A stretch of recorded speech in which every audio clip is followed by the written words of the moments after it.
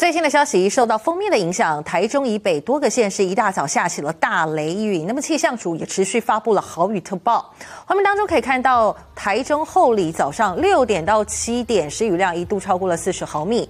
那么国道一号后里出口的匝道还出现了严重的积水，水淹半个轮胎高。那么气象署就表示，因为封面通过，很容易就会有短延时的强降雨。